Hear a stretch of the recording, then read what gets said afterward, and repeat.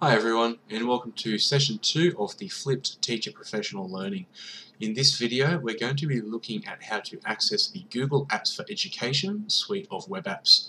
First of all you obviously need to go to your Department of Education portal and log in uh, so that you can access your essentials. So we'll log in now, wait for the page to load. So this is the basic portal um, that you all, will all see. Obviously the type of icons, the number of icons that will appear in this section of your page will vary according to your role within the school and how long you've been teaching. Uh, we are looking for this icon here, uh, Google Apps with uh, two circles interlinked. If you have that there, excellent. If not, let's have a look at how to add it. So we need to come down here uh, to My Learning Tools. Click on that for me and that will bring up the list of the learning tools that the Department of Education has made available. Scroll down uh, until you come across the G, um, the list of Gs, Google Apps. Now on the right here, if you don't have Google Apps already showing in your Essentials, there will be a link here that says Add to My Essentials, as there is for Microsoft Office down here. What you need to do is click on that. I'll do that for Microsoft Office. Click on that and that will add the, that link into your Essentials. So if we come back up to the top, you can now see that I've got Google Apps there, which I already had, but I've now added Microsoft Office 365 to my list of essentials. So that's step one. The next thing that we want to do is have a brief look at what is available to us within Google Apps for Education. So click on Google Apps, the icon, and it will open up another tab. Now it may ask you to log in, uh, or it may not, depending on whether or not you've accessed it before. If it does ask you to log in uh, with a username, with an email address and password, it is asking for your Department of Education ID number and then instead of adding at det.nsw.edu you need to add at education.nsw.gov.au and utilizing that email address you'll be able to log into your Google Apps for Education simply by visiting the Google website and signing in that way.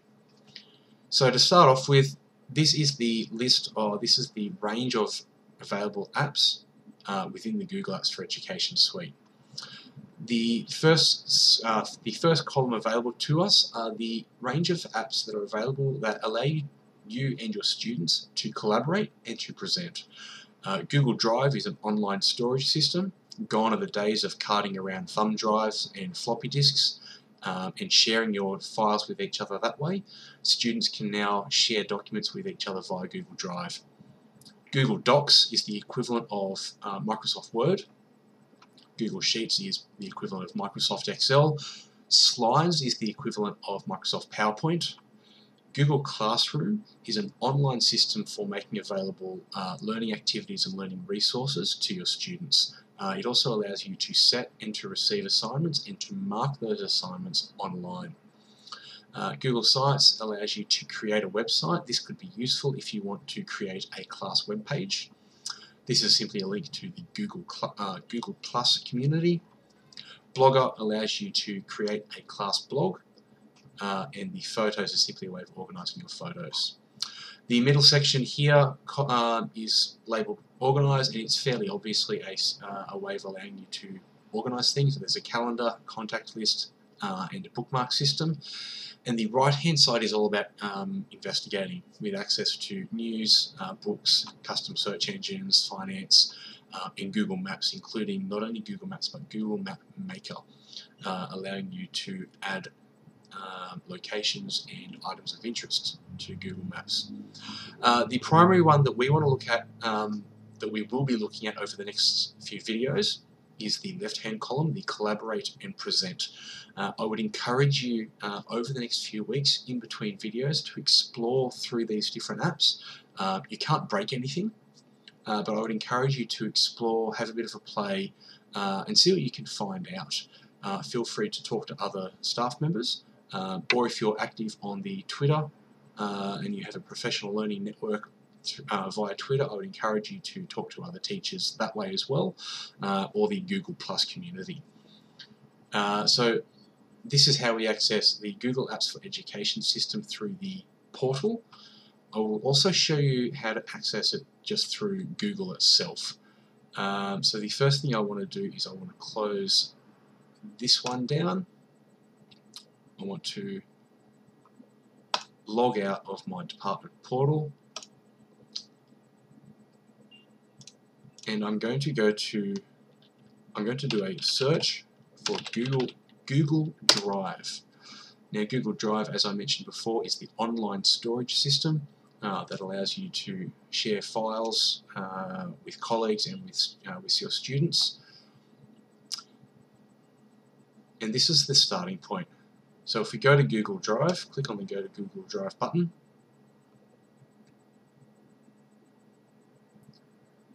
eventually it will uh, take you to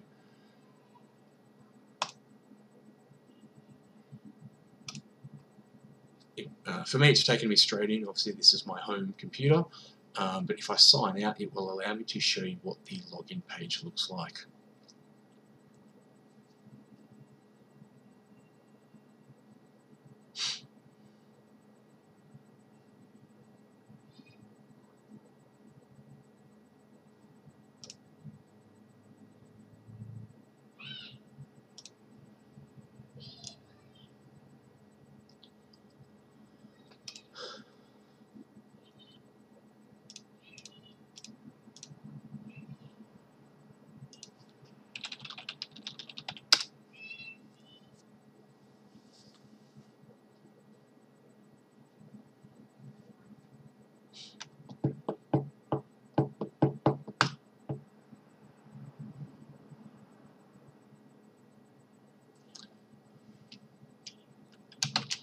So I'm going to show you now how to access Google Drive uh, without going through the Department of Education portal. Uh, we can simply go to drive.google.com and that will take us to the starting page for Google Drive. Just waiting for the internet to load up. Now here you see the standard login page. Now I mentioned before that you can sign into Google Apps for Education utilizing the at education email extension. So all we do is we type in our normal Department of Education ID. So I'm going to type mine in here, but instead of at det.nsw, we write we type at education.nsw.gov.au and we click next. Now this takes us to the Department of Education portal. Because our at Education email accounts are managed via the Department of Education, we do need to log in again. Uh, we do need to log in again so that Google uh, is able to provide us access. Now you just log in with your normal ID here, as you would normally when you're trying to get into your portal. The system will then process the request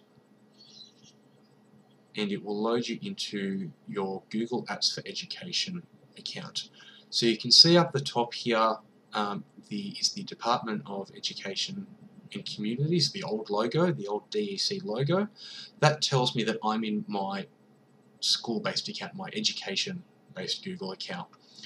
And you'll be able to see all of the features of normal Google Drive, but these are the ones specifically for your at education account.